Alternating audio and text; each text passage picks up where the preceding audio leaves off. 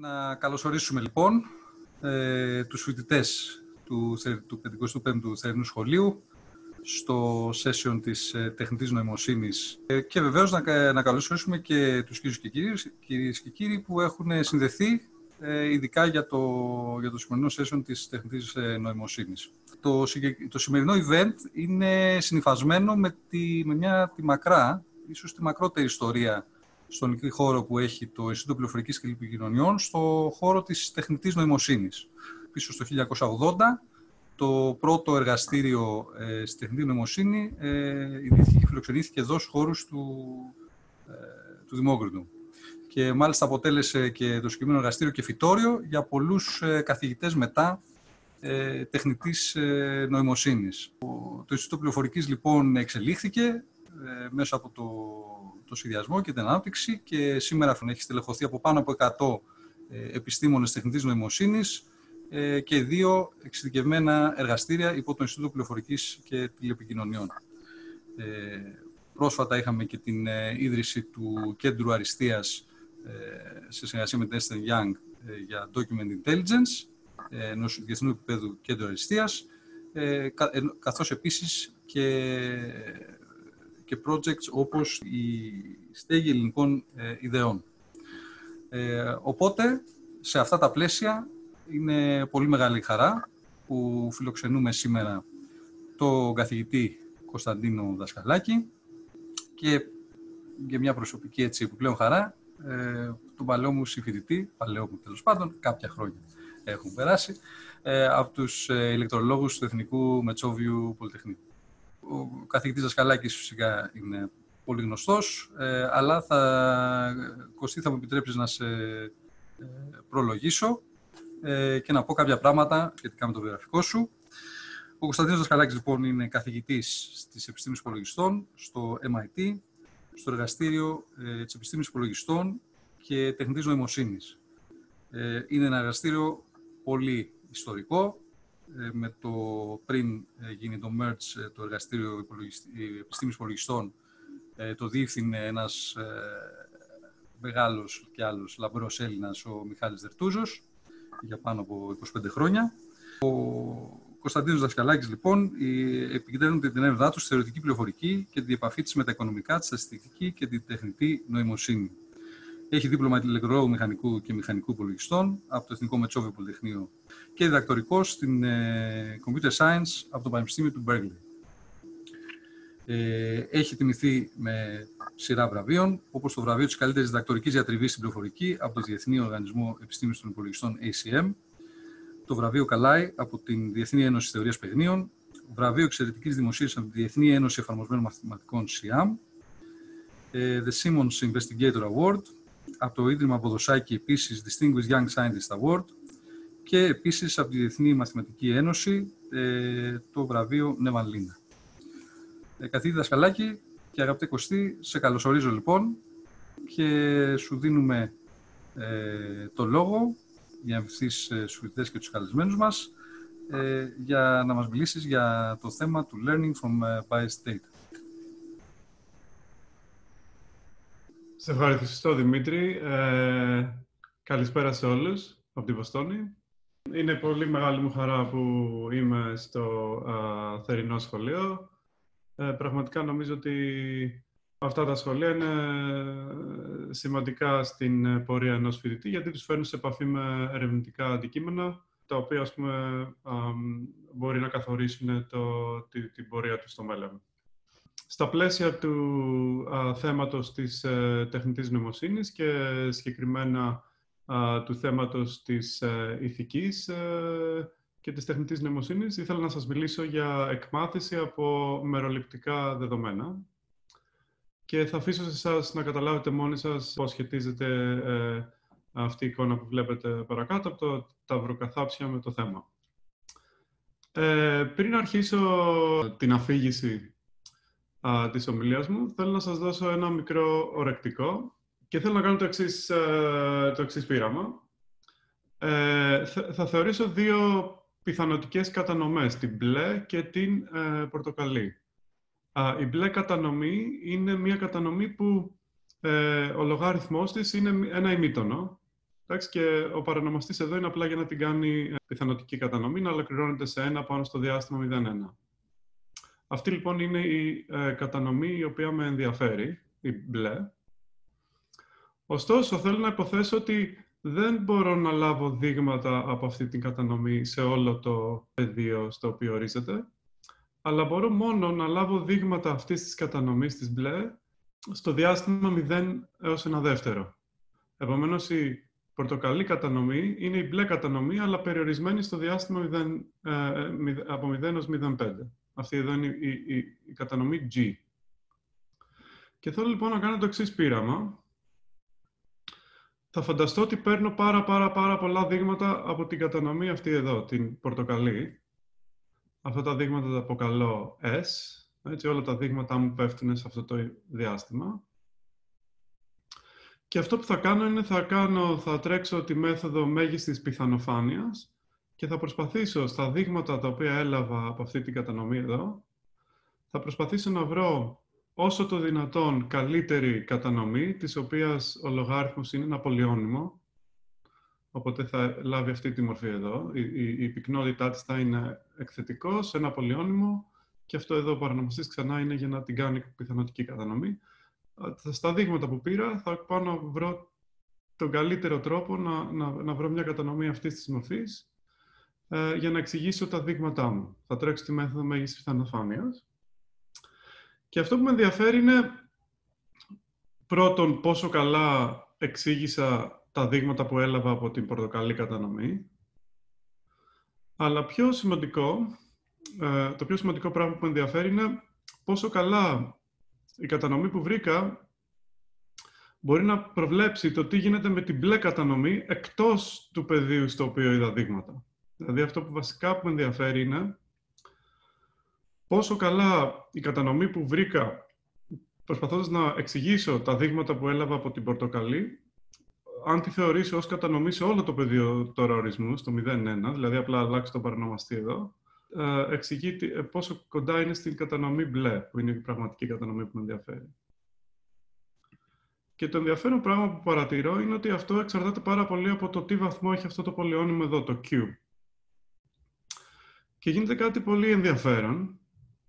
Ε, γενικά, καθώς αυξάνεται ο βαθμός του πολυονύμου, σε γενικές γραμμές γίνεται ε, όλο ένα και καλύτερη η, η, ε, το πόσο ταιριάζει αυτή η κατανομή στην μπλε. Για παράδειγμα, αν ο βαθμός του πολυονύμου είναι, ας πούμε, 15, τότε η, κατανομή Q θα είναι αυτή εδώ πέρα, η α, MOV, η οποία είναι σχεδόν πάνω στην κατανομή μπλε. Απέναντία, για μικρότερους βαθμούς, παίρνω χειρότερες κατανομές. Για βαθμό 10 παίρνω αυτή την κατανομή που κάτι, κάπως έχει ας πούμε, αυτό το, την κυματοειδή μορφή της που έχει και η μπλε, αλλά ωστόσο εδώ πέρα, ας πούμε, ε, ε, μακριά από το 0,5 τα πάει πολύ χειρότερα. Ωστόσο, το περίεργο που συμβαίνει εδώ είναι ότι ε, για κάποιους ενδιάμεσους βαθμούς θα πάω ακόμα χειρότερα. Για βαθμό 12, η κατανομή που θα βρω είναι αυτή η πράσινη, που είναι χείριστη προσέγγιση της ε, ε, κατανομής μπλε που με ενδιαφέρει. Επομένως, έχω αυτό, αυτή τη μη μονότονη συμπεριφορά όσον αφορά το βαθμό του πολεονίμου που επιλέγω να ταιριάξω. Έχω, ε, και, και αυτό βασικά που συμβαίνει ότι ε, για αυτούς τους ενδιάμεσους βαθμούς δημιουργείται αυτό το φαινόμενο που λέμε στη στατιστική overfitting, ότι ο βαθμός αυτός είναι αρκετά μεγάλος ώστε να μπορώ να πάω να ταιριάξω τέλεια τις λεπτομέρειες της κατανομής στο διάστημα όπου πέφτουν οι παρατηρήσεις μου, αλλά επειδή ε, έκανα overfit, ε, τελικά προ, προεκβάλλω την ε, κατανομή μου σε όλο το διάστημα, τα πήγα χάλια. Απ' την άλλη, αν μεγαλώσει αρκετά ο βαθμός, τελικά παρότι μπορώ να κάνω overfitting, δεν το κάνω και α, α, παρότι εγώ και βλέπω δείγματα μόνο στο 0 έως 0,5, παρόλα αυτά τα πάω καλά και σε, σε, στο, στο διάστημα στο οποίο δεν είδα. Ε, τώρα αυτό είναι ορεκτικό για την ομιλία μου, διότι θα, θα μιλήσω για εκμάθηση από μεροληπτικά δεδομένα και α, όταν τα δεδομένα σου είναι μεροληπτικά, έτσι μεταφορικά, βρίσκεσαι σε μια κατάσταση που ενώ σε ενδιαφέρει μπλε κατανομή, δυστυχώς βλέπεις μόνο δείγματα από την πορτοκαλί κατανομή, που είναι η conditional της μπλε σε ένα διάστημα. Και αυτό που σε ενδιαφέρει είναι η, η εκμάθηση που θα κάνεις να μην είναι και αυτή μεροληπτική, να μην μάθεις τέλεια τις λεπτομέρειες της πορτοκαλί, αλλά να μην μάθεις καθόλου τις λεπτομέρειες της μπλε. Θα ήθελες από τα δείγματα τα μεροληπτικά που βλέπεις της πορτοκαλί, θα ήθελες να μπορείς να καταλάβεις το τι κάνει η μπλε κατανομή. Αυτό, λοιπόν, γι' αυτό λοιπόν αυτό το slide, για το οποίο θα επανέλθω αργότερα με, με μαθηματικά, ταιριάζει στο, στο θέμα της εκμάθησης από μεροληπτικά δεδομένα. ωστόσο, θα κάνω ε, ένα βήμα πίσω και θα μιλήσω λίγο ε, ε, πιο αφηρημένα για μερικά slides. και θα επανέλθω σε αυτό το τεχνικό κομμάτι για το οποίο μίλησα τώρα. να σας πω πρώτα απ' όλα τη σχέση με το Δημόκριτο. Είναι η δεύτερη, χαίρομαι πολύ, είναι η δεύτερη φορά που πηγαίνω στο Δημόκριτο η πρώτη φορά που πήγα στο Δημόκριτο ήταν, ε, νομίζω, δεν θυμάμαι, κάποια στιγμή στο Δημοτικό, στο γυμνάσιο. Προ, προφανώς, ε, στα πλαίσια του μαθήματος του σχολείου, ε, ό,τι καλύτερο μπορεί να σου συμβεί είναι να πας σε ένα ερευνητικό κέντρο. και γι' αυτό, ενώ η μνήμη μου γενικά είναι πολύ μέτρια, θυμάμαι ακριβώς, θυμάμαι ένα από τα demos τα οποία είδαμε όταν πήγαμε στο Δημόκριτο.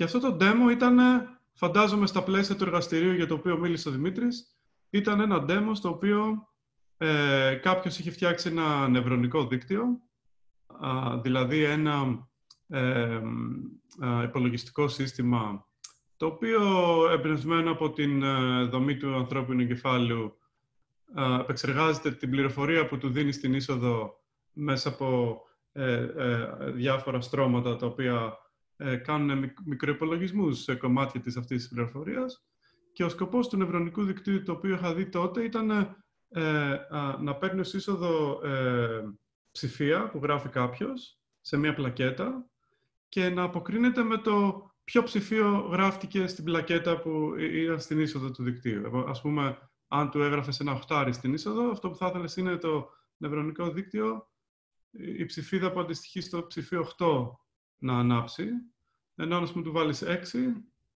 να ανάψει η ψηφίδα που αντιστοιχεί στο 6 και το καθεξής. αυτό θυμάμαι ε, από την επίσκεψή μου τότε, ότι κάποιος ερευνητής είχε εκπαιδεύσει ένα νευρονικό δίκτυο το οποίο αναγνώριζε ψηφία ε, που έγραφε σε μια πλακέτα ε, στην είσοδο του δικτύου. Και έτσι 25 χρόνια μετά πλέον τα νευρονικά δίκτυα έχουν, ε, η, η ακρίβειά τους έχει ε, τελειοποιηθεί.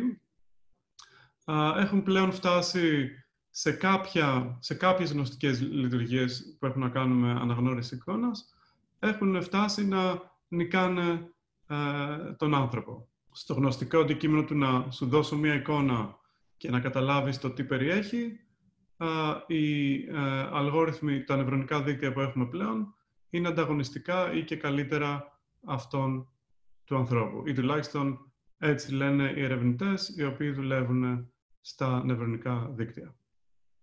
Ε, αυτός εδώ ο τύπος λέγεται Αντρέι Καρπάθη, ο οποίος όταν ήταν φοιτητής στο Stanford πήρε ένα, ε, ε, ένα dataset το οποίο λέγεται ImageNet, ε, μια βάση με πάρα πάρα πάρα πολλές εικόνες και ε, έκατσε κάτω και πέρασε όλες τις εικόνες και προσπάθησε να γράψει σε κάθε εικόνα το τι περιέχει και βρήκε πόσο σωστός είναι στο, στο να αναγνωρίσει τα αντικείμενα των εικόνων.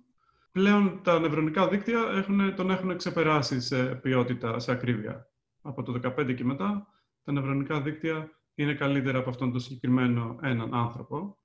Και ε, γενικότερα, ε, όπως έχουμε δει και από διάφορες εφαρμογές που είναι πλέον και εμπορικές, τα νευρονικά δίκτυα είναι ε, πολύ καλά στο να καταλαβαίνουν και να επεξεργάζονται εικόνες. Ωστόσο, αυτό που θέλω να ρωτήσω είναι τι πραγματικά σημαίνει όλη αυτή η πρόοδος στην οποία όλοι αναφέρονται γύρω από την ποιότητα των νευρονικών δικτύων.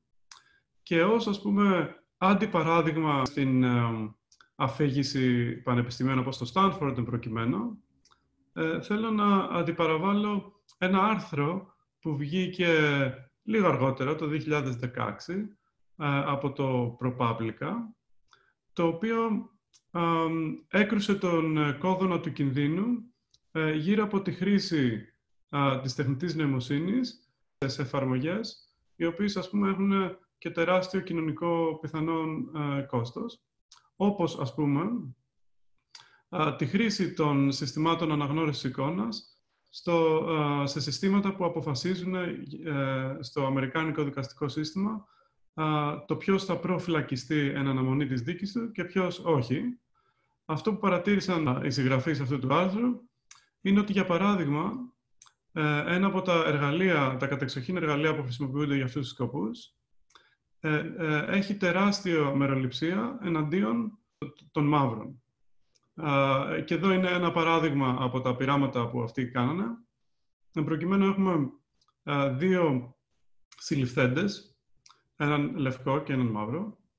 Ο λευκός έχει ε, πολύ πιο ε, προηγούμενες παραβάσεις και παρόλα αυτά το νευρονικό δίκτυο λέει ότι αυτός είναι, έχει πολύ λιγότερο ρίσκο ε, να διαπράξει ξανά έγκλημα εν αναμονή της δίκης του, ενώ δίνει μεγαλύτερο ρίσκο σε αυτόν εδώ, επειδή προφανώς ε, ε, ο αλγόριθμος που έχει εκπαιδευτεί σε προηγούμενα δεδομένα βρήκε κάποιο pattern ότι αν το χρώμα του δέρωματός σου είναι μαύρο, τότε έχεις μεγαλύτερη πιθανότητα να διαπράξεις κάποιο έγκλημα εν αναμονή της δίκης σου.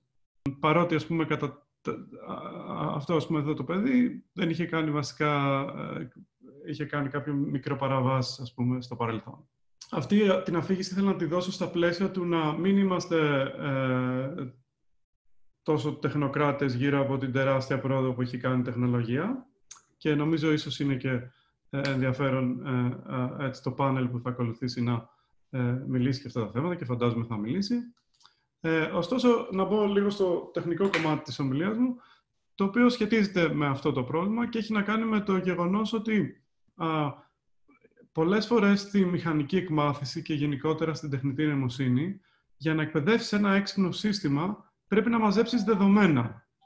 Και δυστυχώς, πολλές φορές όταν μαζεύεις δεδομένα, ε, τα δεδομένα που μαζεύεις δεν είναι αντιπροσωπευτικά, είναι μεροληπτικά και επομένως, αν άκρητα εκπαιδεύσεις κάποιο σύστημα πάνω σε αυτά τα δεδομένα, αυτό το σύστημα μπορεί να υιοθετήσει τη μεροληψία η οποία α, ενυπάρχει στα δεδομένα τα οποία μάζεψες.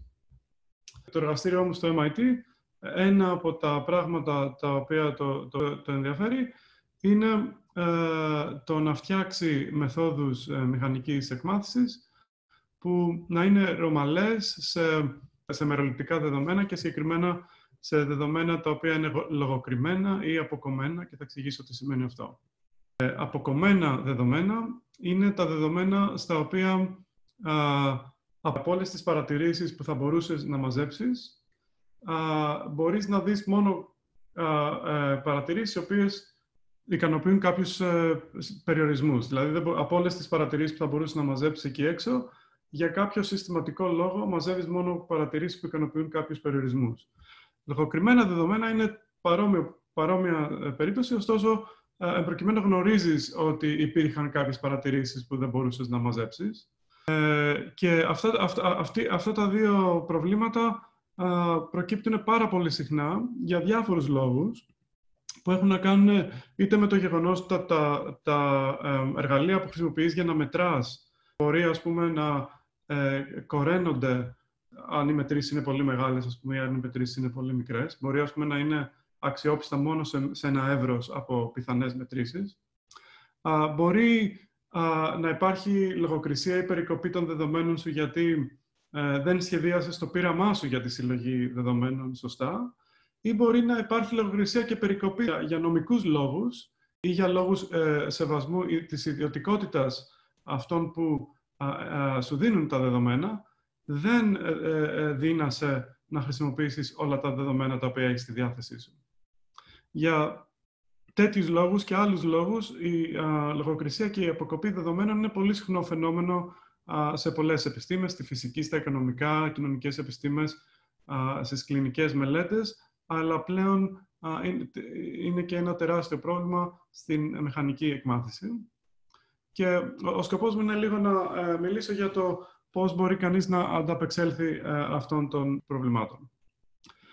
Ε, θέλω να δώσω μερικά παραδείγματα του πώς ε, από διάφορα έτσι, επιστημονικά πεδία για το πώς η λογοκρισία και η αποκοπή έρχονται στο προσκήνιο. Το πρώτο μου παράδειγμα ε, είναι από την δεκαετία του 50, 60, 70, ένα debate το οποίο υπήρχε στις κοινωνικές επιστήμες για το, για το κατά πόσο η νοημοσύνη είναι σημαντική για, για το μισθό ε, χαμηλά αμοιβόμενων εργαζομένων, που έτσι για τους ορισμούς, για τους, ε, για τους σκοπούς αυτού του slide, είναι εργαζόμενοι οι οποίοι ε, αναώρα ε, πληρώνονται ε, τον χαμηλότερο μισθό κάποιας ε, πολιτείας. ας πούμε, αυτοί που πληρώνονται κάτω από 10 δολάρια την ώρα. Αν θες να μελετήσεις το αν η νοημοσύνη επηρεάζει το μισθό τέτοιων εργαζομένων, είναι πολύ λογικό να κάνεις το εξής πείραμα. να πας σε μια γειτονιά στην οποία ε, το μέσο εισόδημα είναι χαμηλότερο από ε, κάποιο ποσοστό του ε, εισοδήματος της φτώχειας και να μαζέψεις δεδομένα της μορφής HI, PCI, όπου το HI είναι για κάποιον άνθρωπο ποιο είναι το, ποια είναι το IQ του, πόση εκπαίδευση έχει, πόση εμπειρία έχει στη δουλειά του και το καθεξής. Και το YI είναι το πόσο εισόδημα βγάζει. Και αφού μαζέψεις όλα αυτά τα δεδομένα, είναι πολύ λογικό να ε, κάνεις μια στατιστική εκτίμηση, ας πούμε να κάνεις γραμμική παλινδρόμηση και να δεις τη γραμμική παλινδρόμηση που έκανες ο συντελεστής μπροστά από το IQ αν είναι θετικός ή αν είναι κοντά στο μηδέν. Αυτό είναι πολύ, ένας πολύ λογικός τρόπος να απαντήσει το ερώτημα του αν η νοημοσύνη επηρεάζει το μισθό για τους χαμηλά αμοιβόμενους ανθρώπους. Τι έκανες, πήγες σε μια γειτονιά που το μέσο εισόδημα είναι χαμηλό Επομένως, περιμένεις να δεις πολλούς τέτοιους ανθρώπους εκεί. Μάζεψες δεδομένα, ε, έκανες μια στατιστική εκτίμηση, κοιτάς το συντελεστή μπροστά από το IQ και καταλαβαίνεις αν το IQ επηρεάζει ή όχι ε, το εισόδημα. Ε, αυτό, αυτά όλα ακούγονται πολύ λογικά, αλλά τίθεται ένα ε, ε, ε προφανές ερώτημα και το ερώτημα έχει να κάνει με το εξής. Η επιλογή σου να πας σε μια φτωχή γειτονιά Υπάρχει περίπτωση αυτή η επιλογή να επηρεάσει να, να, ε, το αποτέλεσμά σου και να μην είναι σωστό; Και ε, η απάντηση είναι ότι μπορεί να το επηρεάσει. Δηλαδή, η επιλογή σου να πας και να μαζέψεις τα δεδομένα σου από μια φτωχή γειτονιά μπορεί να κάνει τα δεδομένα σου μεροληπτικά με τέτοιο τρόπο ώστε το συμπέρασμα που θα βγάλεις για το αν το IQ επηρεάζει το μισθό να είναι λανθασμένο. Και για να το καταλάβουμε λίγο αυτό, ε, θέλω να έχετε την εξής εικόνα στο μυαλό σας. Όταν κάνω γραμμική παλινδρόμηση, η θεώρηση που έχω για τον κόσμο είναι ότι ε, τα δεδομένα μου, HI, PCI, είναι σημεία γύρω από μία γραμμή. Δηλαδή, κάθε PCI γεννιέται α, από πολλαπλασιάζοντας το HI με κάποιο συντελεστή και προσθέτοντας θόρυβο. Αυτό συμβαίνει και έτσι, κάνοντας, ας πούμε, least squares regression ή κάποια άλλη μέθοδο γραμμικής παλινδρόμησης, θα βρω αυτή τη γραμμή, την κίτρινη, που εξηγείται από, αυτό τον, ε, από αυτούς τους συντελεστές. Ωστόσο, όταν ε, σχεδιάζω το πείραμά μου, όπως περιέγραψα στο προηγούμενο slide, αυτό που γίνεται είναι το εξής. Αυτό που έκανα ότι πήγα σε μια φτωχή γειτονιά. Στη φτωχή γειτονιά το εισόδημα ήταν κάτω από ένα συγκεκριμένο όριο. Έτσι. Οπότε μάζεψα δεδομένα που είχαν στον ένα άξονα, ας πούμε, το IQ ή άλλα χαρακτηριστικά ενός ατόμου, στον ψη άξονα το εισόδημα αυτού του ατόμου, αλλά ωστόσο πήγα σε μια γειτονιά, της οποίας το μέσο εισόδημα ήταν κάτω από κάποιο όριο. Επομένως, από όλα τα δεδομένα τα οποία θα μπορούσε να μου δώσει ο πραγματικός κόσμος, πηγαίνοντας εγώ σε μια φτωχογειτονιά να μαζέψω δεδομένα, αποφάσισα να μην μαζέψω κανένα δεδομένο που το εισόδημα είναι πάνω από αυτό το ε, κατόφλι. Επομένως, από όλα τα δεδομένα που θα μπορούσε να μου γεννήσει ο κόσμος, αποφάσισα εγώ να μαζέψω μόνο τα δεδομένα στα οποία το εισόδημα είναι κάτω από κάποιο κατόφλι. Δηλαδή να δω μόνο αυτά τα δεδομένα που βλέπετε εδώ, από όλα τα πιθανά δεδομένα που θα μπορούσα να έχω πάρει. Και αν πάω αφελώς και κάνω, ας πούμε, κάποια μέθοδο γραμμικής παλινδρόμησης στα δεδομένα αυτά, τότε ε, αυτή εδώ η, γραμμή φαίνεται πολύ πιο ε, καλή, καλό fit ε, των δεδομένων που μάζεψα.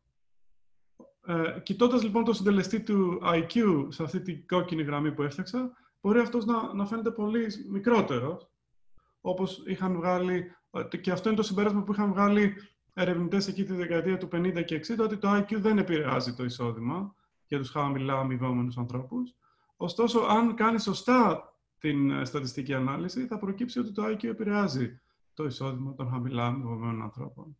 Αυτό θέλω να έχεις στο μυαλό σου για το τι μπορεί να συμβεί όταν αφελώς ε, θέλω να λύσω ένα πρόβλημα και αφελώς μαζεύω τα δεδομένα μου χωρίς να είμαι πολύ προσεκτικός και μετά πάω και ε, κάνω μια στατιστική ανάλυση ή ε, φτιάχνω νευρονικό δίκτυο πάνω στα δεδομένα μου. Αυτό που μπορεί να συμβεί είναι να συμβούν φαινόμενα σαν και αυτό εδώ, που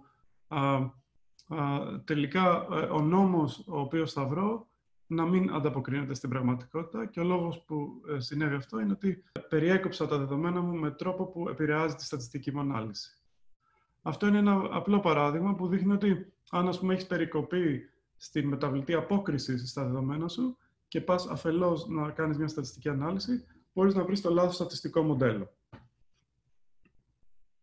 Το άλλο παράδειγμα που θέλω να δώσω, το οποίο σχετίζεται με το άρθρο της ProPublica για το οποίο μίλησα πριν, είναι, έχει να κάνει με νευρονικά δίκτυα και ένα πείραμα που κάνανε ε, οι ερευνήτριες Μπολαμίνι και Ζεμπρού πριν από μερικά χρόνια, αλλά και άλλοι πριν από αυτές. Αυτό που κάνανε είναι ότι πήραν εμπορικά συστήματα αναγνώρισης του γένους από μία φωτογραφία και δοκίμασαν πώς δουλεύουν αυτά τα νευρονικά δίκτυα, νευρονικά δίκτυα τη Microsoft, τη Facebook και την IBM και δοκίμασαν πώς δουλεύουν αυτά τα νευρονικά δίκτυα σε διαφορετικούς ανθρώπους. Και το φοβερό πράγμα που παρατήρησαν είναι ότι ε, ενώ γενικά η ακρίβειά τους, βλέποντας μια φωτογραφία, να αποφασίσουν τι γένος έχει το, το πρόσωπο, για ε, μαύρους ανθρώπους και ειδικότερα για μαύρες γυναίκες, η ακρίβεια του νευρονικού δικτύου ήταν πάρα πολύ κακή σε σχέση με ας πούμε, λευκούς ανθρώπους και λευκές γυναίκες. Ε, ο, ο, ο λόγος που συνέβη αυτός είναι, αυτό είναι ότι ε, αυτά τα νευρονικά δίκτυα χτίστηκαν πάνω σε μια βάση δεδομένων από εικόνες και αυτή η βάση δεδομένων περιείχε πολύ περισσότερες ε, φωτογραφίες λευκών και πολύ λιγότερες φωτογραφίες ε, ε, μαύρων ανθρώπων. Ε, και ως αποτέλεσμα, ο αλγόριθμος δεν έδωσε τεράστια σημασία για την, στην ακρίβεια που έχει σε, σε, σε αυτό τον υποπληθυσμό. Και γι' αυτό το λόγο η ακρίβειά του όταν ε, δοκιμάστηκε σε αυτό τον υποπληθυσμό ήταν πολύ χειρότερη. Αυτό είναι άλλο παράδειγμα που ε, τα δεδομένα αποφάσισαν να φτιάξουν ένα νευρονικό δίκτυο που να βλέπει μια φωτογραφία και να αποφασίζει τι γένος έχει το πρόσωπο αυτό. Αλλά ε, μαζεύοντας τα δεδομένα δεν πρόσεξα ότι θα έπρεπε να μαζέψω αντιπροσωπευτικά δεδομένα για όλους τους υποπληθυσμούς που με ενδιαφέρουν. Και επομένως δημοσίευσα το νευρονικό μου δίκτυο στο ίντερνετ και ήρθε κάποιος και το δοκίμασε σε κάποιον υποπληθυσμό και βρήκε ότι δεν δουλεύει καλά, όσο εγώ θεωρούσα. Εγώ θεωρούσα ότι έχω 99% ποιότητα ε, επειδή το είχα δοκιμάσει σε ε, λευκούς άντρες, λευκές γυναίκες, και ήρθε κάποιος και το δοκίμασε σε κάποιον υποπληθυσμό και βρήκε ότι η ποιότητα που εγώ θεωρούσα ότι έχω είναι πολύ χειρότερη.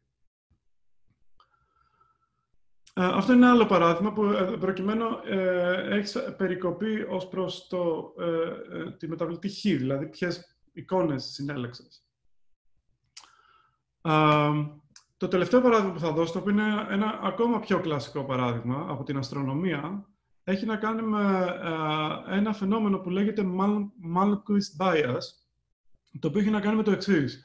Ότι, όπως ξέρετε, η φωτεινότητα μιας ε, φωτεινής πηγής πέφτει ε, τετραγωνικά με την απόσταση του παρατηρητή. Όσο πιο μακριά είσαι από μια φωτεινή πηγή, τόσο τετραγωνικά μικρότερη θα φαίνεται η φωτεινότητα αυτής της πηγής, βασικά γιατί το φως από την πηγή εκπέμπεται σε σφαίρες και επομένως, όσο μεγαλύτερη είναι η επιφάνεια ε, τη σφαίρα στην οποία ανήκει ο παρατηρητής, τόσο ε, λιγότερο φωτεινή φαίνεται η πηγή.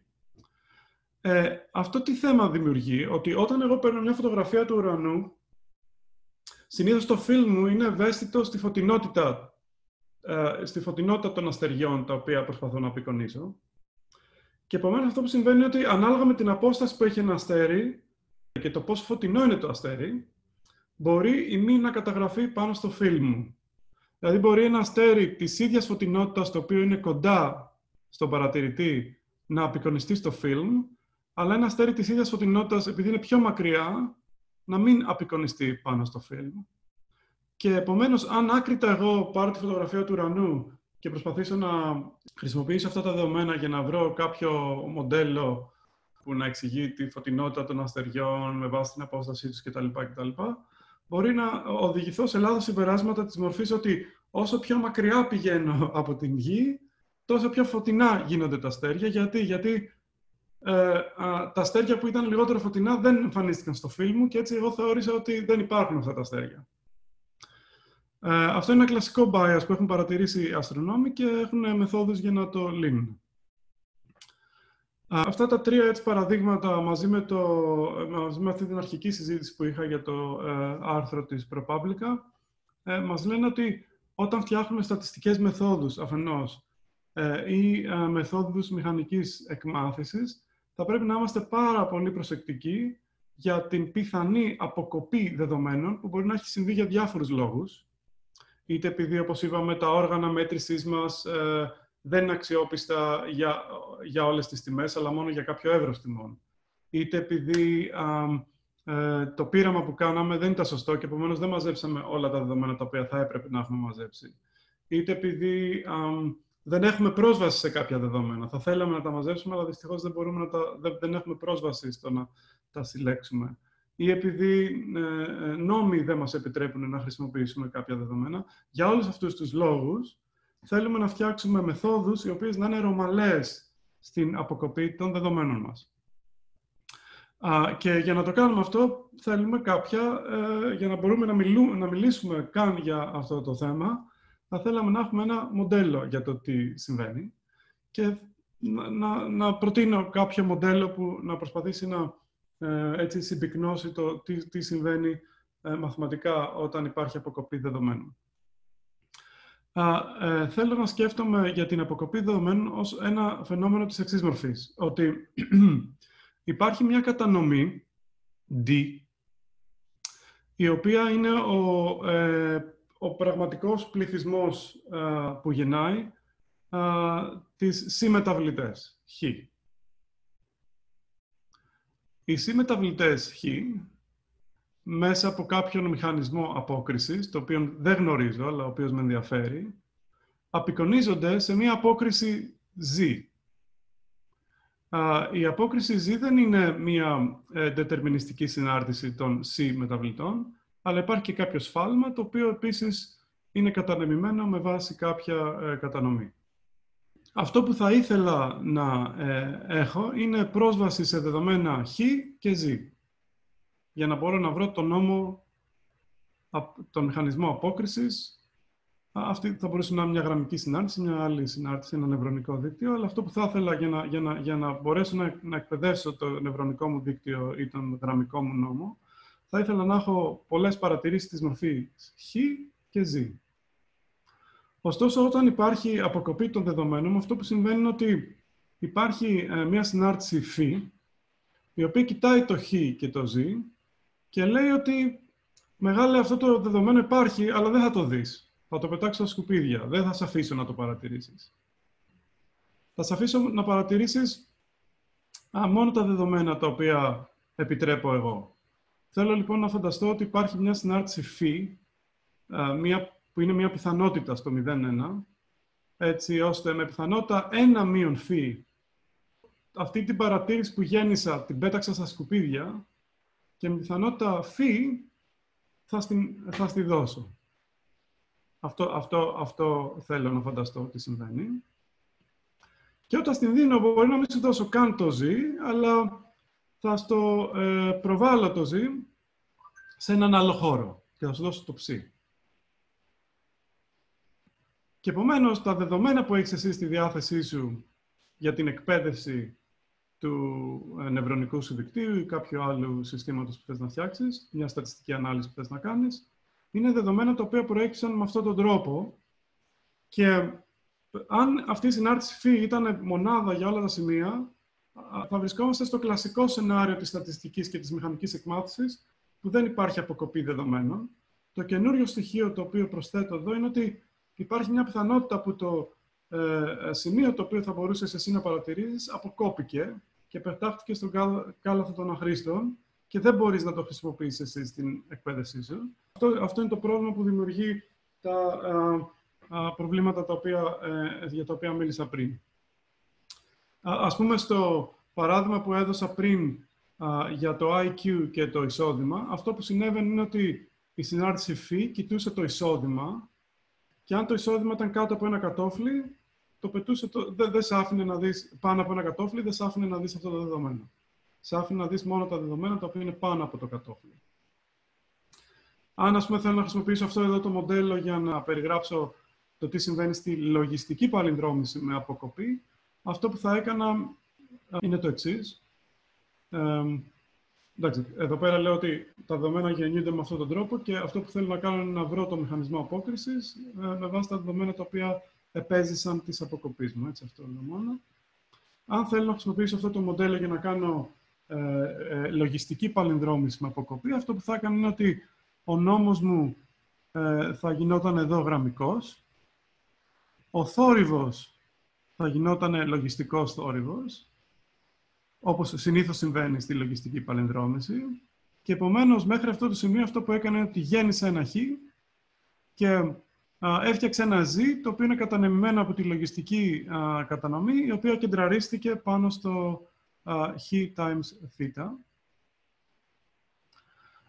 Η αποκοπή τι κάνει, ότι λέει ότι κοίταξε να δεις, ανάλογα με το τι Z γέννησες εσύ από αυτή τη λογιστική κατανομή, αν πέφτει εκτός από κάποια πλαίσια, δεν θα παρατηρήσεις αυτή την παρατήρηση. Θα παρατηρήσεις μόνο τις παρατηρήσεις που πέφτουν μέσα στα πλαίσια αυτά.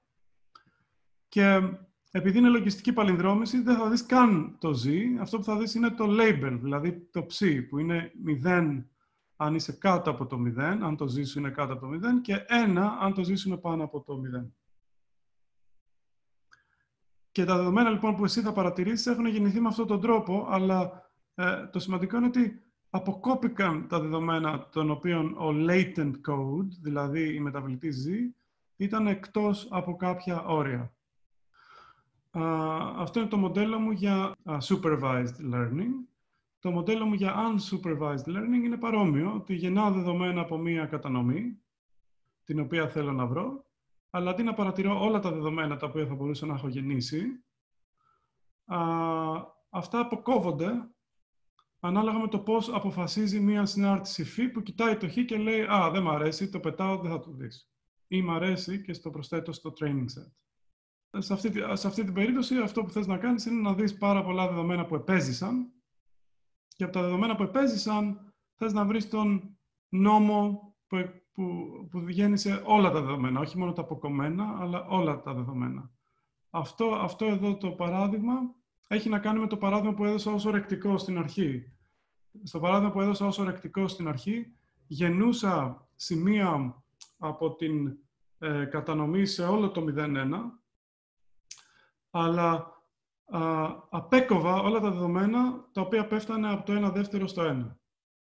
Και έδινα στο training set μόνο δεδομένα τα οποία πέφτανε από το 0 ως το 1 δεύτερο. Και ο σκοπός μου ήταν να χρησιμοποιήσω τα δεδομένα από τις παρατηρήσεις που είδα από το 0 στο 1 δεύτερο για να βρω τον νόμο πάνω σε όλο το 0-1. Εδώ πέρα λοιπόν ξανά η, το challenge είναι το ίδιο, η πρόκληση είναι η ίδια, γεννάω δεδομένα αλλά αποκόβω τα δεδομένα ανάλογα με αυτή τη συνάρτηση φύ που μπορεί να την ξέρω ή μπορεί να μην την ξέρω και να θέλω να την βρω επίσης. Και ο σκοπός είναι να με βάση τα δεδομένα που επέζησαν να βρω τον νόμο, τον πραγματικό νόμο που διέπει όλα τα δεδομένα τα οποία θα, θα μπορούσα να έχω παρατηρήσει. Όχι μόνο τα δεδομένα που παρατήρησα, αλλά τα δεδομένα που θα μπορούσα να έχω παρατηρήσει.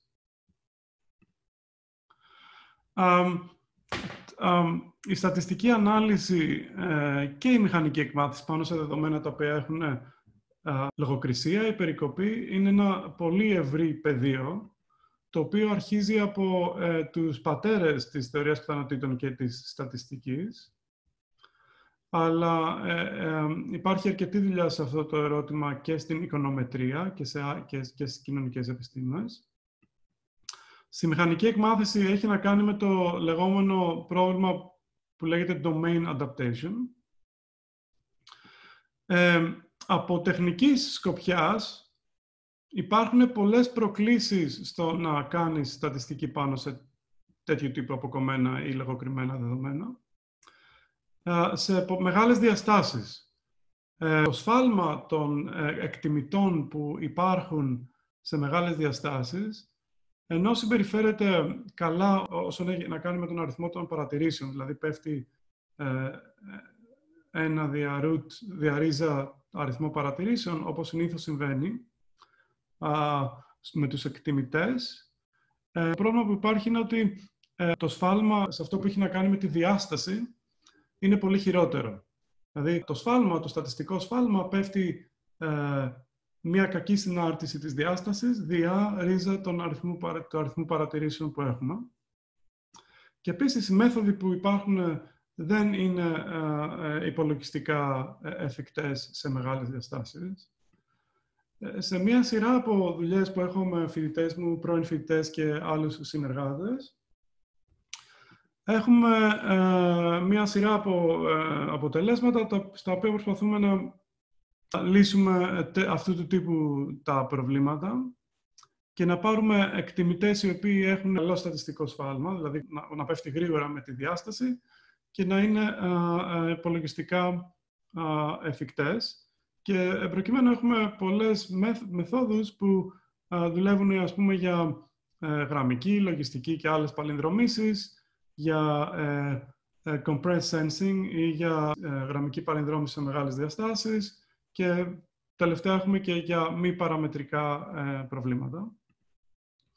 Έτσι, για να την παραβάλω αυτό που μπορούμε να πετύχουμε σε σχέση με αυτό που είναι γνωστό, οι παλιοί εκτιμητές έχουν, όπως σας είπα πριν, κακή συμπεριφορά όσον αφορά με τη διάσταση του προβλήματος που λύνουμε. Οι δικοί μας εκτιμητές έχουν γραμμική, που είναι και η βέλτιστη συμπεριφορά που θα μπορούσαν να έχουν. Σε μεγάλες διαστάσεις μπορούμε να πάρουμε και λογαριθμική συμπεριφορά, αν ο νόμος τον οποίο προσπαθούμε να λύσουμε είναι αραιός, σε, σε, σε, sparse regression προβλήματα. Ε, τώρα, το ερώτημα που τίθεται είναι γιατί μπορούμε τώρα, μετά από 100 χρόνια, μπορούμε να πάρουμε αυτή την πρόοδο που α, σας λέω εδώ και δεν μπορούσαμε να έχουμε αυτή την πρόοδο πριν από ε, μερικές δεκαετίες.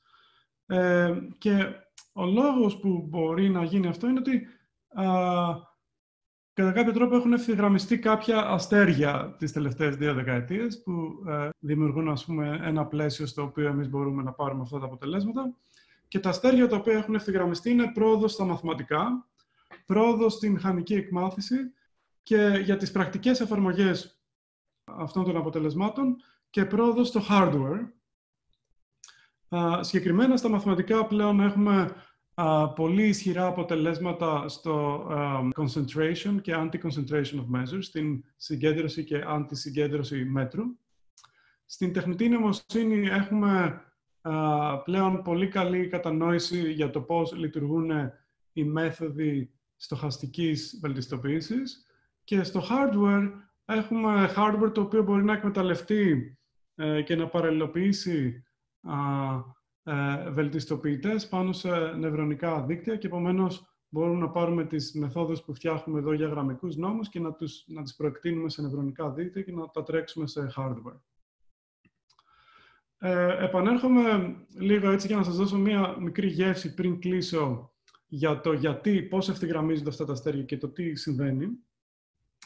Ε, επανέρχομαι λίγο στο ορεκτικό που σας έδωσα πριν. Αν θυμάστε, ο πραγματικός νόμος ο οποίος με ενδιαφέρει είναι ο μπλε. Στο απλό μου παράδειγμα, ο μπλε νόμος ήταν στο 0,1. Ωστόσο, τα δεδομένα μου ήταν περικομμένα και μπορούσα να παρατηρήσω μόνο δείγματα της μπλε κατανομής στο διάστημα 0 έως 1 δεύτερο. Αυτό που προσπάθησα να κάνω είναι να μαζέψω πάρα πολλά δεδομένα από την πορτοκαλί και να βρω τον καλύτερο νόμο που μπορούσα να βρω με τη μέθοδο μέγιστης πιθανοφάνειας που να έχει τη μορφή ε, εκθετικό σε ένα πολυόνυμο και ε, δοκίμασα διάφορους βαθμούς αυτού του πολυονύμου, προσπαθώντας να ε, εξηγήσω με τη μέθοδο μέγιστης πιθανοφάνειας τα δείγματα που πήρα από αυτή την πρωτοκαλή κατανομή. Αλλά αυτό που με διέφερε, όπως ε, καθ' όλη τη διάρκεια της ομιλίας μου, αυτό που με διέφερε δεν είναι να εξηγήσω μόνο τα περικομμένα δεδομένα μου, αλλά αυτό που με ενδιαφέρει είναι να μάθω τον νόμο που διέπει όλα τα δεδομένα τα οποία θα μπορούσα να παρατηρήσω. Είναι δεδομένα τα οποία πέφτουν σε όλο το διάστημα από 0 έως 1. Βλέποντας μόνο τα περικομμένα δεδομένα στο 0 έως 1 δεύτερο, θέλω να βρω ένα νόμο που να εξηγεί τα δεδομένα που θα μπορούσα να παρατηρήσω που πέφτουν στο, από το 0 έως το 1. Δοκιμάζοντας, αν θυμάστε, διάφορους βαθμούς για αυτό το πολυόνιμο που θα βάλω εδώ στον εκθέτη, παρεσύρει αυτό το περίεργο φαινόμενο ότι οι μικροί βαθμοί πηγαίνανε καλούτσικα, οι μεγάλοι βαθμοί πηγαίνανε πολύ καλά και οι ενδιάμεσοι βαθμοί πηγαίνανε χάλια. Ότι είχα αυτή την ε, μη μονότονη συμπεριφορά όσον αφορά το βαθμό του πολυονίμου που πήγα να χρησιμοποιήσω στα περικομμένα μου δεδομένα. Και ε, είχα λοιπόν αυτό το περίεργο φαινόμενο του overfitting, ότι ε, οι χαμηλοί βαθμοί δεν ήταν αρκετά μεγάλοι για να κάνουν overfitting, οι μεσαίοι βαθμοί ήταν αρκετά μεγάλοι για να κάνουν overfitting ε, και να έχουν χάλια ε, ικανότητα να εξηγήσουν τον νόμο σε όλο το διάστημα. Έτσι. Και οι αρκετά μεγάλοι βαθμοί, ενώ θα μπορούσαν να κάνουν overfitting, δεν κάναν overfitting.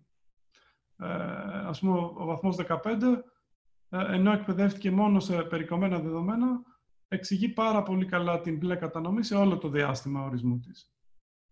Και το, έτσι, το επιστημονικό ερώτημα που τίθεται είναι ότι υπό ποιες συνθήκες, βλέποντας περικομμένα δεδομένα από μια κατανομή, μπορώ να εξηγήσω πράγματα τα οποία δεν είδα ποτέ; Κάτω από ποιες συνθήκες, α, παρατηρώντας δεδομένα από μια κατανομή μόνο σε ένα διάστημα, σε ένα ε, υποσύνολο του ε, πεδίου ορισμού της, μπορώ να κάνω αυτό που λέγεται extrapolation, να εξηγήσω τα φαινόμενα που δεν δίνω ποτέ.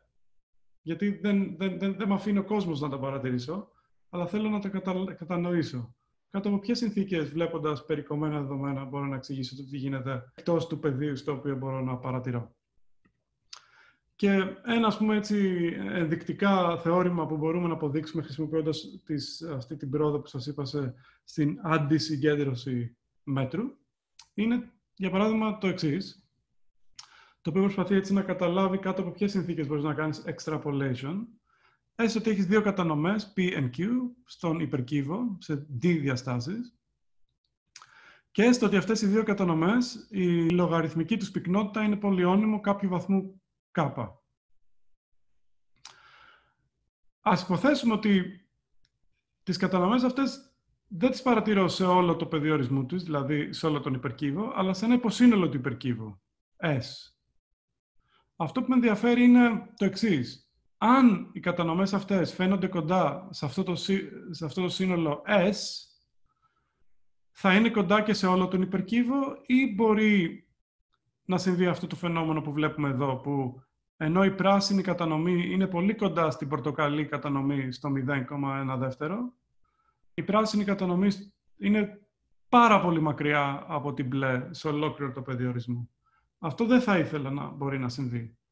Θα ήθελα να, να πω ότι αν δύο κατανομές φαίνονται κοντά στο υποσύνολο, πρέπει να είναι κοντά και στο ε, όλο το πεδίο ορισμού. Και αυτό που με ενδιαφέρει είναι κάτω από ποιες συνθήκες μπορώ να συσχετήσω το πόσο κοντά είναι δύο κατανομές σε ένα υποσύνολο στο οποίο μπορώ να παρατηρήσω, με ένα υπερσύνολο στο οποίο δεν μπορώ να παρατηρήσω.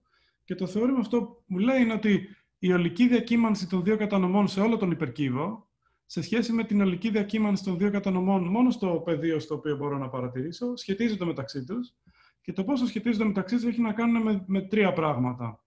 Ένα είναι ο βαθμός των πολυονίμων. Δύο είναι το ε, volume, τον όγκο που έχει το υποσύνολο στο οποίο μπορώ να παρατηρώ. Και τρίτο, σε πόσες διαστάσεις βρισκόμαστε.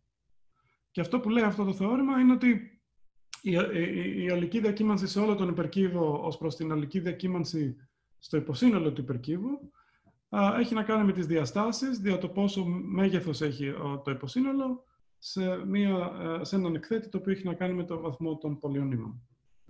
Με άλλα λόγια, αν ε, οι δύο κατανομές είναι μακριά ε, εκτός σε όλο το πεδίο ορισμού τους, τότε θα πρέπει να είναι μακριά και σε αυτό το υποσύνολο το οποίο μπορώ να παρατηρήσω, που φιλοσοφικά τι μου λέει, μου λέει ότι μπορώ να μάθω από περικομμένα δεδομένα. αν ε, αυτό εδώ πέρα δεν ίσχυε, τότε θα μπορούσα να δω περικομμένα δεδομένα, να νομίζω ότι εξήγησα την κατανομή μου μέσα στο, στο, στο, στο, στο υποσύνολο των περικομμένων δεδομένων, αλλά εκτός αυτού του υποσυνόλου να ε, είναι πολύ μακριά αυτό που έμαθα από την πραγματικότητα. Αυτό που λέει αυτό το θεώρημα είναι ότι κάτω από, τις, ε, από αυτές τις συνθήκες αυτό δεν μπορεί να συμβεί. Αν νομίζεις εσύ, βλέποντας τα περικομμένα σου δεδομένα, ότι εξήγησες τον πιθανοτικό νόμο ο οποίος διέπει τα δεδομένα σου, τότε και εκτός του πεδίου στο οποίο μπορείς να λάβεις παρατηρήσεις, ε, θα εξηγήσεις σωστά τον νόμο. Δηλαδή, αυτή η κατάσταση εδώ που ενώ η πράσινη κατανομή είναι πολύ κοντά στην πορτοκαλί, είναι πάρα πολύ μακριά από την μπλε, δεν μπορεί να συμβεί. Ε, αυτά πάνω κάτω είχα να σας πω. Ε, εδώ είχα κάποια πειράματα στα οποία τρέχουμε έτσι τις μεθόδους μας και βλέπουμε ότι, δεν θα, δεν θα τα εξηγήσω, ε, βλέπουμε ότι ε, αν τρέχεις τις δικές μας μεθόδους ε, η, η ακρίβειά σου είναι πολύ καλύτερη από το να είσαι αφελής και να, μην, και να τρέχεις τις κλασικές μεθόδους. Ε, και θέλω να κλείσω ίσως μόνο με αυτό το παράδειγμα, ε, το οποίο ε, στα προηγούμενα δύο παραδείγματα τρέξαμε έτσι λογιστική παλινδρόμηση σε δύο παραδείγματα. Σε αυτό εδώ το παράδειγμα τρέχουμε τις ίδιες μεθόδους, αλλά ε, σε στεροειδή. Δηλαδή, πήραμε τις μεθόδους μας ε, από γραμμικά μοντέλα και τις εφαρμόσαμε σε ε, νευρονικά δίκτυα. Και προκειμένου θέλω να κάνουμε το εξής πείραμα. Θέλουμε να φανταστούμε ένα κόσμο στον οποίο ε, το σύστημα μηχανικής εκμάθησης έχει πρόσβαση σε δεδομένα για την εκπαίδευσή του που είναι αυτή εδώ της μορφής, αλλά θα εφαρμοστεί σε δεδομένα που έχουν αυτήν εδώ τη μορφή. Ποια είναι η σχέση αυτών των δύο ε, κατανομών; Αυτή εδώ η κατανομή, όλες οι εικόνες είναι πάνω κάτω. Και επίσης, εδώ πέρα υπάρχουν πολύ περισσότεροι άντρες από ότι γυναίκες. Σε αυτή την κατανομή εδώ υπάρχει ίσως αριθμός από άντρες και γυναίκες και οι φωτογραφίες είναι με, τη σωστή, ε, με το σωστό προσανατολισμό. Το ερώτημα είναι, αν εγώ έχω πρόσβαση μόνο σε αυτά τα δεδομένα, πόσο καλά μπορώ να πάω σε αυτά τα δεδομένα; Και αυτό θέλω να μην το πάρετε της μετρητής, αλλά ξανά να το πάρετε μεταφορικά. Είναι μια περίπτωση στην οποία τα δεδομένα τα οποία έχει στη διάθεσή του ένα σύστημα μηχανικής εκμάθησης για να μάθει, είναι πολύ διαφορετικά από τις συνθήκες τις οποίες θα αντιμετωπίσει αυτό το σύστημα στον πραγματικό κόσμο. Εν προκειμένου, το σύστημά μου έχει πρόσβαση σε αυτά τα δεδομένα που είναι πάνω κάτω και υπάρχουν πολύ λιγότερες γυναίκες από ότι άντρες και θέλει να εκπαιδευτεί στο να ε, βλέπει μια εικόνα και να ε, εκτιμάει το γένος του, του προσώπου της φωτογραφίας. Ε, επομένως, εδώ έχει να λύσει δύο θέματα. Το ένα είναι ότι ο προσανατολισμός είναι λάθος και ότι υπάρχουν πολύ περισσότεροι άντρες από ότι γυναίκες σε αυτόν τον υποπληθυσμό, στον, τον οποίο έχει στη διάθεσή του για εκπαίδευση. Αλλά στην πραγματικότητα θα πάει να, θα πάει να χρησιμοποιηθεί το σύστημά μου σε φωτογραφίες που αφενός μεν υπάρχουν ίσως αριθμός από άντρες και γυναίκες σε αυτόν τον πληθυσμό. Αφετέρου δε, οι εικόνες είναι με το σωστό προσανατολισμό. Αν ε, πάρεις και κάνεις εκπαιδεύσεις ένα νευρονικό δίκτυο αφελώς σε αυτές τις φωτογραφίες και πας να το εφαρμόσεις, να το τεστάρεις σε αυτές εδώ τις φωτογραφίες, η ικανότητά του να προβλέπει σωστά το γένος ε, του εικονιζομένου είναι γύρω στο 50%. Δηλαδή, πολύ κοντά στο ε, τυχαία να, να προβλέπει το γένος του εικονιζομένου. Από την άλλη, αν κάνεις ας πούμε, αυτές τις πιο σοφιστικές μεθόδους, τις οποίες προτείνουμε εδώ πέρα στη δουλειά μας, μπορεί, ενώ εκπαιδεύεσαι σε αυτές τις κακές εικόνες, να έχεις 80% ακρίβεια ε, σε αυτές τις άλλες εικόνες που δεν είδες ποτέ. Των οποίων η συμπεριφορά είναι πολύ διαφορετική από αυτές στις οποίες είχες συνηθίσει. Δηλαδή, εδώ πέρα φτιάχνεις ένα σύστημα που έχει μάθει να βλέπει ανθρώπους ε, ε, ανάποδα, έτσι. Και επίσης έχει, έχει ζήσει σε έναν κόσμο που υπάρχουν πολύ περισσότεροι άντρες από ότι γυναίκες και παίρνεις αυτό το ρομποτάκι και το γυρίζεις ανάποδα, να βλέπεις σωστά τους ανθρώπους και επίσης το πας σε μια κοινωνία που είναι 50-50 άντρες και γυναίκες. Δεν θες το ρομποτάκι σου επειδή το αναποδογύρισες και επειδή το πήγες σε έναν άλλο πληθυσμό που είναι 50-50 άντρες και γυναίκες η ακρίβειά του να, να, να πέσει στο 50%. Θέλεις η ακρίβειά του να είναι αρκετά καλή ακόμα και στον άλλο πληθυσμό στον οποίο πήγες να το εφαρμόσεις και αυτό καταφέρνουν οι μέθοδοι για τις οποίες μίλησα μέχρι τώρα. Ε, πάνω κάτω αυτά είχα να σας πω ότι ε, η συλλογή δεδομένων είναι ένα τεράστιο, μια τεράστια πρόκληση στην ε, μηχανική εκμάθηση, διότι αν τα δεδομένα σου είναι μεροληπτικά και είσαι αφελής στον τρόπο που τα χρησιμοποιείς αυτά τα δεδομένα για την εκπαίδευση του αλγορίθμου σου, τότε και ο αλγόριθμός σου θα είναι μεροληπτικός και θα υιοθετήσει τα στερεότυπα που πιθανόν εν υπάρχουν στα δεδομένα που μάζεψες. δεν θέλω να ισχυριστώ ότι αυτός είναι ο μόνος τρόπος με τον οποίο η τεχνητή νοημοσύνη μπορεί να είναι μεροληπτική. Υπάρχουν πολλά άλλα μονοπάτια μέσα από τα οποία η κακή χρήση α, των συστημάτων α, ε, μηχανικής εκμάθησης και ευρύτερα τεχνητής νοημοσύνης μπορούν να είναι... Ε, υπάρχουν πολλά άλλα μονοπάτια μέσα από τα οποία αυτή η χρήση μπορεί να είναι μεροληπτική. Αλλά αυτό εδώ το κανάλι είναι ένα από τα βασικά κανάλια με τα οποία η τεχνολογία που φτιάχνουμε δεν είναι αξιόπιστη.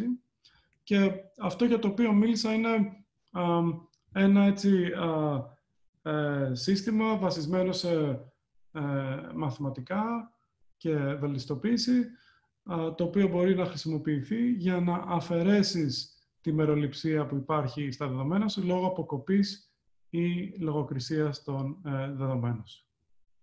Αυτά είχα να σας πω. Σας ευχαριστώ πολύ για την προσοχή σας. Ευχαριστούμε πάρα πολύ, Κωστή, για την ομιλία σου.